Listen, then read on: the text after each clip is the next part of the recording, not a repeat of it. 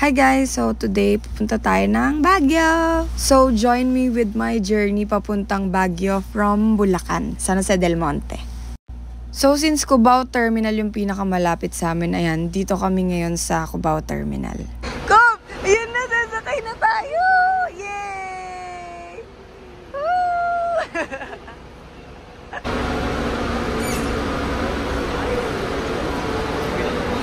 Ah, sakay na.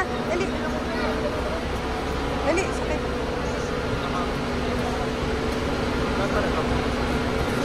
Good evening po. Tatlo po. Saan po kaya to, sir? Ah, dito na. Thank you po. Dali, sakay na, boss.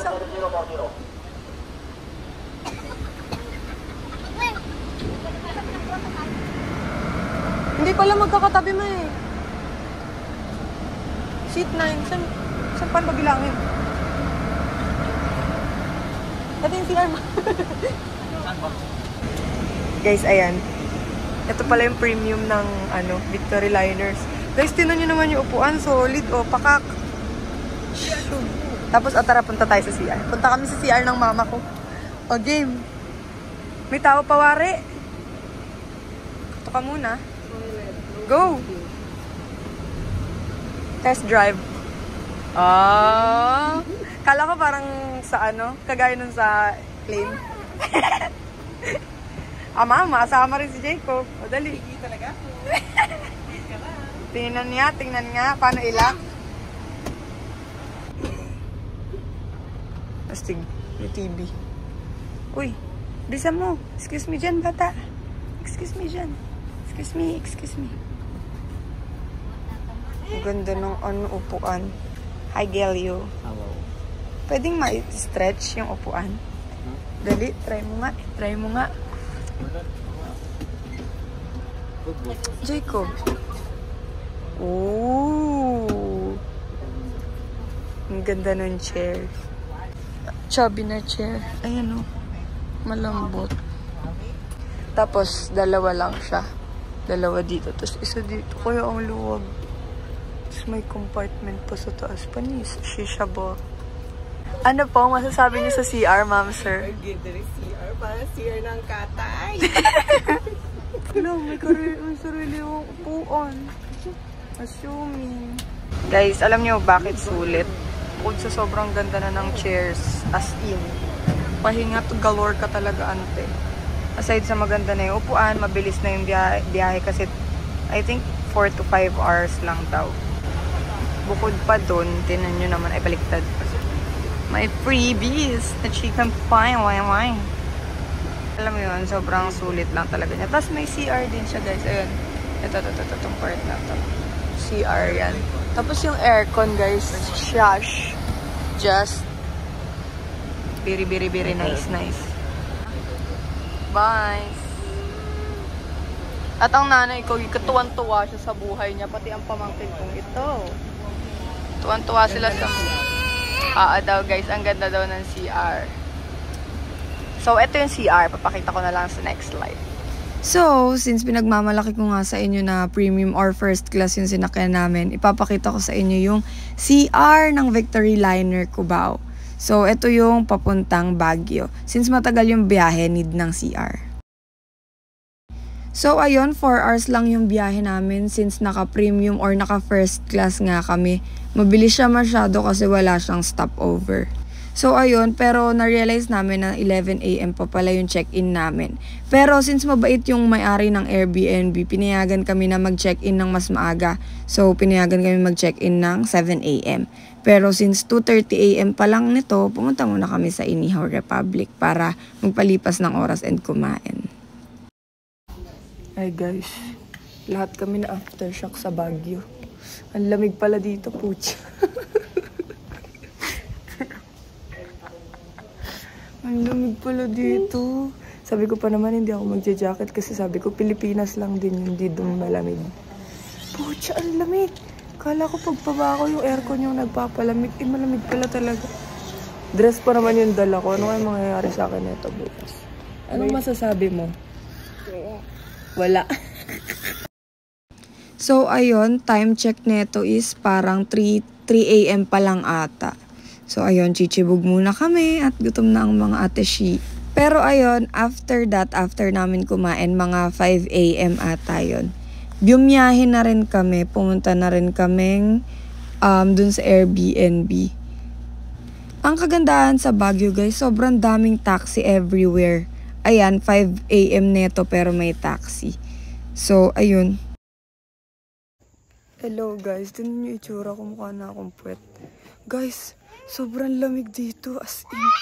Literal na sobrang lamig. As in, sobrang lamig. Tingnan niyo guys yung jacket ko. Dalawa na. Tapos meron pa akong damit niyan sa loob. Oh, may turtleneck pa ako niyan sa loob. Anyway, dumating kami dito mga 2 a.m. 2.40, mga ganun. Eh kaso, 2.40, di ba? Kumain muna kami. Tapos kumain, pagkatapos kumain, tumambay lang saglit. Then pumunta na kami dito sa village. Nandito ako kami sa labas ng village naghihintay. Tingnan niyo to guys ah. Mukha akong puwet, sorry na.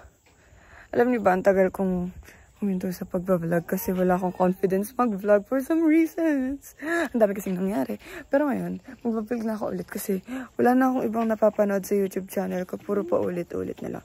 Anyway guys, maniwala kayo pag sinabi ng mga tao na malamig sa Baguio kasi malamig talaga. Like sobrang lamig. Alam niyo ba yung dinala kong damit? Dress. So, paano gagawin ko yun ngayon? Ang lamig-lamig. Tapos nakadress ako. Tingnan niyo to. Hi! Hi! Anong gagawa mo? Nalaro siya.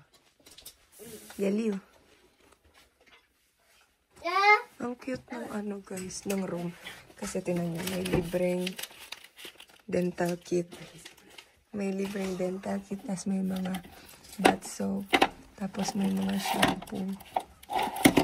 Yan, mga ganyan. Tapos ito, ay si mama. Itutour daw kayo ni mama sa CR. Tapos merong heater. Meter. Hmm. Tapos ano pang meron? Towel. Hmm, towel na mabango. Ayan. Ang lamig dito guys, grabe. Ang ganda ng CR nila guys, actually. Alam niyo yung place ay maliit lang guys, pero ang ganda kasi kompleto. May ganyan. Upuan. Tapos maliit lang. Tapos budget friendly. Hi guys! Nagbalik uli kami. Karon, tigyawat ko. Sige na. Crazy. So, pagdating namin sa Airbnb, since puyat kami pare-pareho and walang mga tulog, kumuha muna kami ng saglit na tulog and nagising kami mga 12 p.m. Tapos, dumiretso na kami sa The Hall of Plate para kumain. Yung pagpunta namin sa The Hall of Plate, since sobrang lapit niya, actually, labas lang siya nung Airbnb. Nilakad lang namin siya. So, ayun, papunta on the way sa The Hall of Plate, lakad lang talaga. So, wala kaming expense. So, ayun, chichibog muna kami before gala. Oh, tinan mo yung anak mo tayo kumakain ng kanin. Uy! Ano yan? Ano yan? Ano yung tawag dyan, ma? Brown rice pa. Ano tawag dyan, ma? Sa order mo? The signature? Signature ribs. Wow! Ikaw, Giliw. Ano daw? Ano daw? Huwag mo tanongin kung magkano. Yan, may tsura pa lang niya ng mahal, no? kanin niya na, kanin niya na. Ikaw, ano sa'yo? Ito naman yung order na ito. Meron naman sa Maynila. Barbecue. Seating barbecue. Ah, magkano? Barbecue. Price price reveal. No. Ang mahal nung pagkain dito sa The Hall of Plate, guys. Pero sobrang sulit. Sobra talagang sulit. Sobrang sarap lalo na nung the signature ribs nila. As in, talagang babalik-balikan mo. Yung lasagna rin nila, sobrang daming cheese. Like, crazy. Ang sarap. So, bali, ang in-order namin dito ay lasagna for Jacob. The signature ribs para sa aming dalawa ni Mama. And yung kay Beng naman ay pork sisig ata yun. Mo.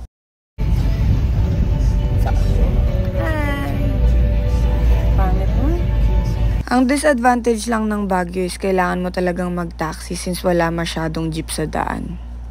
Guys, kanina pa kami paikot-ikot. Di ko lang na-vlog kasi ang ganda masyado ng mga paninda. Tignan nyo na lang. Ang dami mo kasing makikita dito eh, may enggan dyan.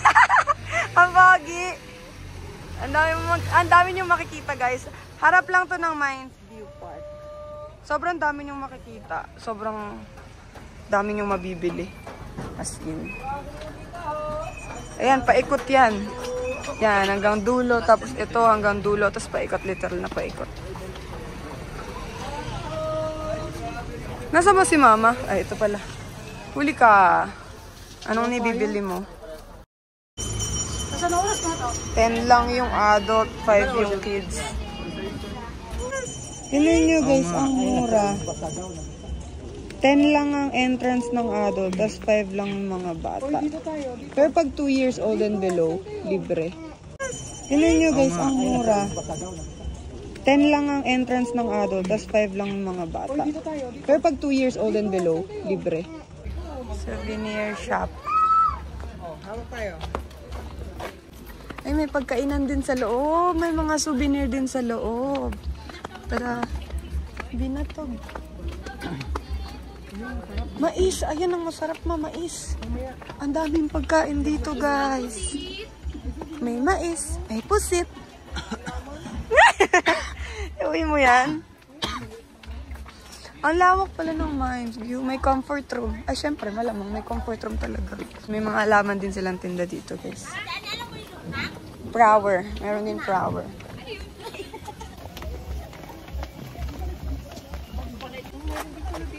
Wow! Ang daming souvenir shop. Hala, ang laki ng aso! Wow! Kubo! Hala!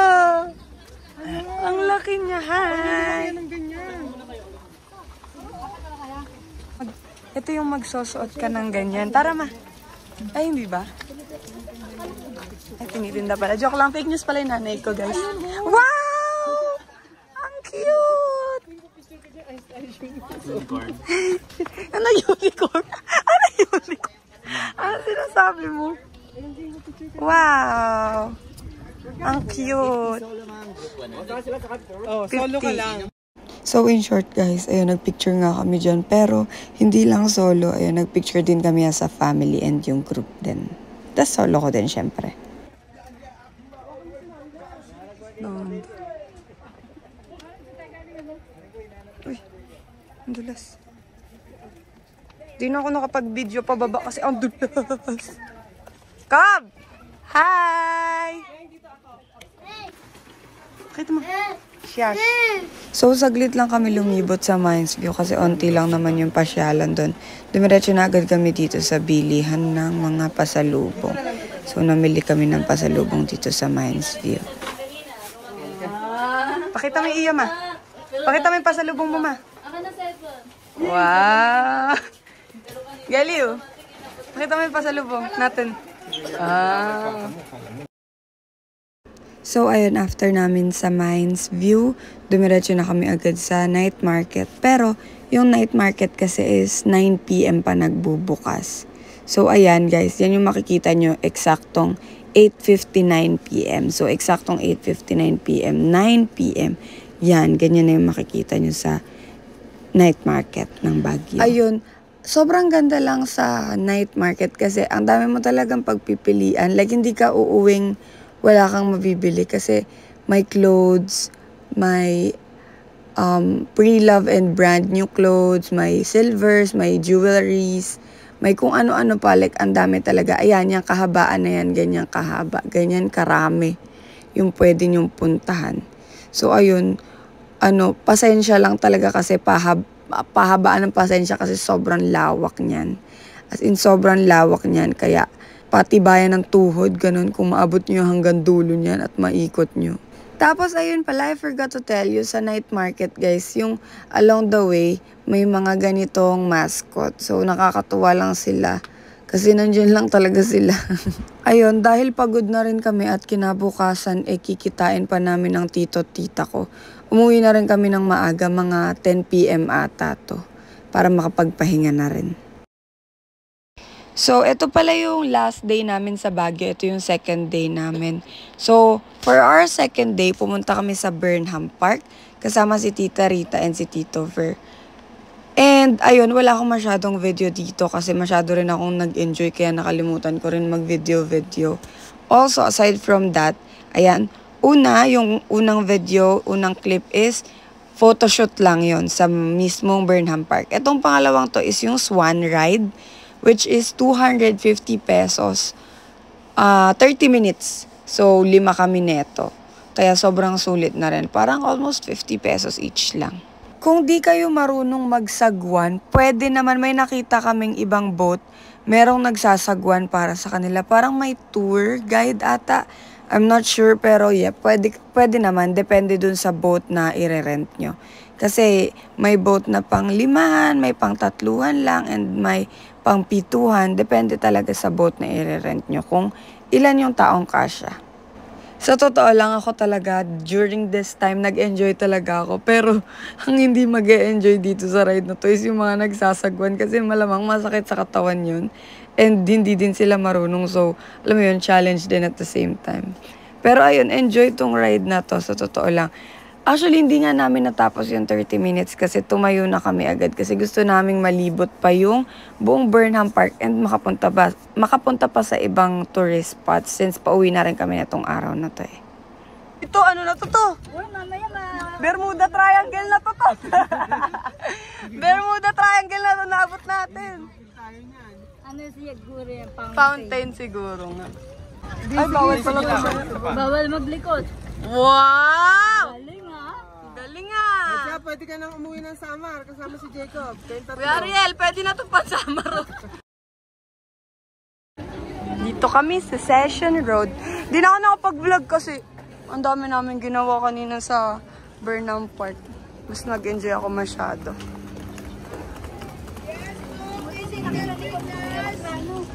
Ang daming paninda dito.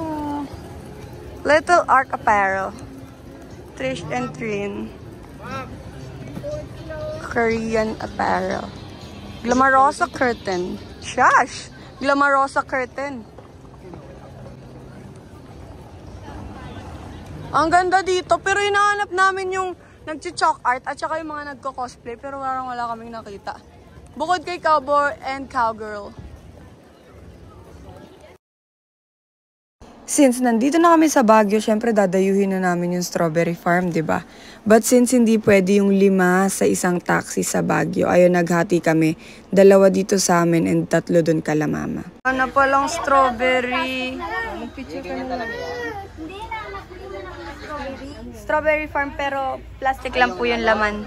So ayun, sadly and unfortunately, pumunta kami sa strawberry farm pero wala kami naabutang strawberry kasi off-season daw ang strawberry, strawberry, strawberry sa panahong to.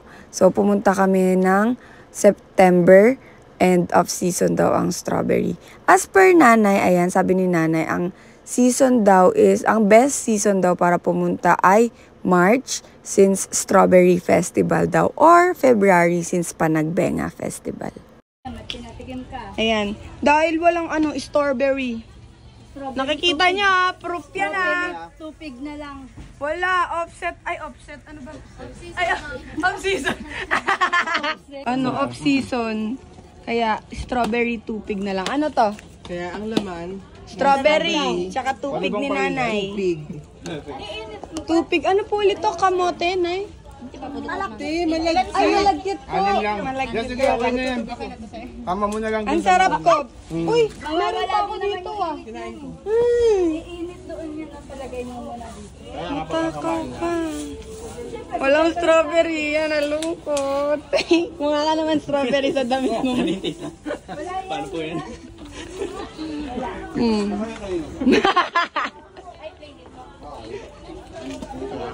So, itong time naman na to ay uuwi na kami. Actually, hindi kami uuwi pala. Pupunta kami sa Igorot Stone Kingdom.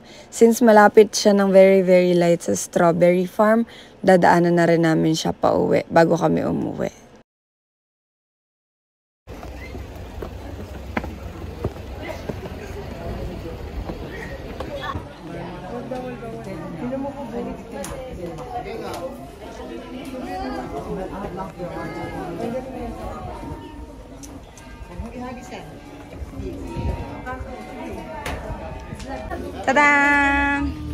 100, 100 pag adult. Oh. Tapos 80 kapag bata. Tara na! Uy! Lalabas na yan!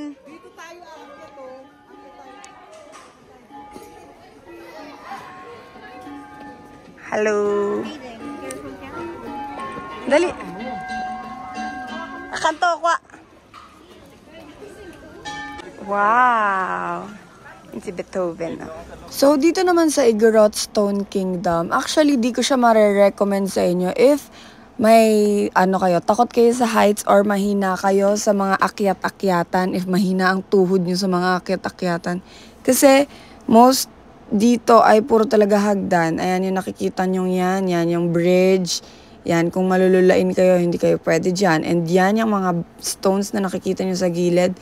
Actually, nilalakaran yan and um, hagdan yan talaga, hagdan yan pataas. So, pwede nyong akyatin yan.